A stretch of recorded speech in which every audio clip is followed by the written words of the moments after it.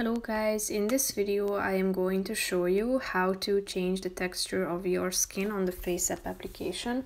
But first I just want to mention, don't forget to subscribe to my channel because at 10,000 subscribers I am going to show you my whole YouTube revenue statistics and growth strategy, how to make money online. So let's jump into it. First of all, open the application on your phone tap on the gallery button down below which is the, the uh, first option and select the photo that you want to edit.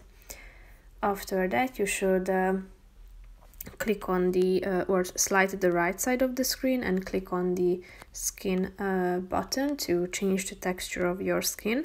You have a bunch of options that you can choose from such as freckles which is available to everyone so you don't need the premium membership to apply uh, freckles and you have a a scale uh, ranging from 1 to uh, 5 so you can select the um, level of uh, freckles or the amount of freckles that you want to apply.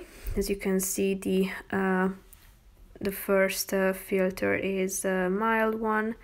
And then as you go uh, further on to number 5 you can see that you have many freckles applied. So if you want to apply this filter click on the apply button down below.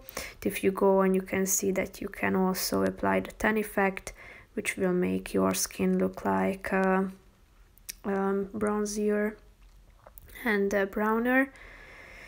You can apply this smooth matte glowing effect as well but you have to purchase the premium.